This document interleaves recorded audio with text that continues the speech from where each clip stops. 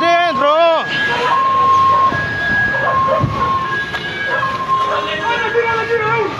Էկվադորի իրադարձությունները հոլիվուդյան մարտաֆիլմի սցենար են հիշեցնում մեկ տարբերությամբ լատինամերիկյան երկրում զոհերն ու հանցագործներն իրական են։ Էկվադորի հանցավոր աշխարհը պատերազմ է հայտարարել իշխանությանը, սպառնալով երկրի անվտանգությանը։ Բանտերում սկսված խռովություններից եւ խոշոր հանցախմբի պարագլխի փախուստից հետո նախագահ Դանիել Նոբոան 60 օրով արտակարգ դրության ռեժիմ է սահմանել, որ เป զի զինված ուժերը վերականգնեն վերահսկողությունը քրեակատարողական համագարքի նկատմամբ։ Հստակ ու կարևոր հրահանգ եմ տվել զինված ուժերին եւ ոստիկանությանը միջամտել կալանավայրերի վերահսկմանը։ Միայն օրենքները բավարար չեն, որ เป զի մենք ապրենք խաղաղության մեջ։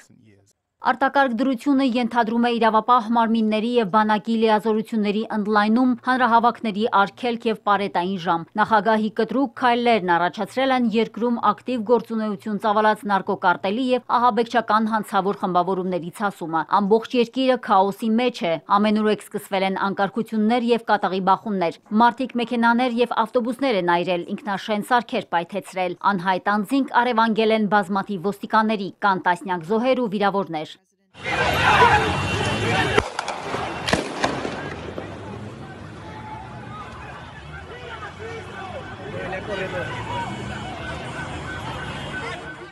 Իրավիճակն անկառավարելի է դարձել, երբ դիմակավորված եւ զինված անհայտ անձինք ուղիղ եթերում ներխուժել են Էկվադորի Գուայակիլ քաղաքի TC հերոստալիքի ստուդիա, աշխատակիցներին ստիպելով պարկել հատակին։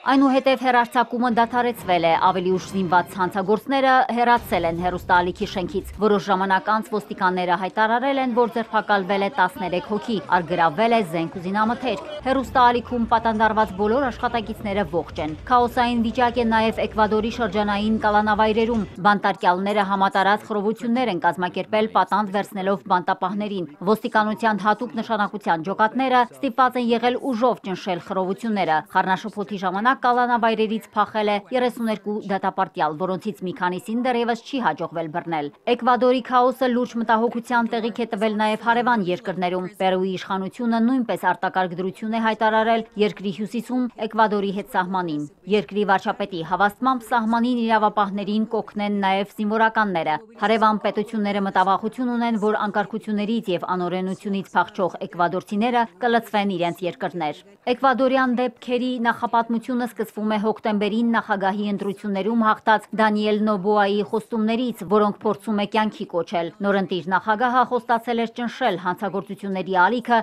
որն ամբողջությամբ կլանել է երկիրը։ Սակայն բնակիչները նախագահի ծրագրերի հետ մեծ հույսեր չեն կապում, խիստ միջոցները համարելով ուշացած։ Խնդիրը չի լուծվի, կարծում եմ անհրաժեշտ է օրենքները փոխել։ Մեծ աշխատանք է պետք այս ուղղությամբ։ Հնարավոր չէ հանցավորությունը վերացնել մեկ գիշերում։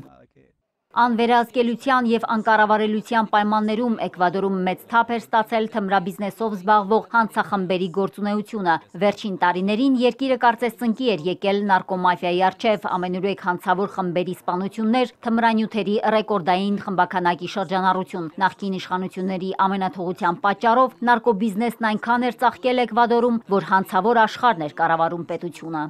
Մարիկ Օստանյան, Էպիկենտրոն։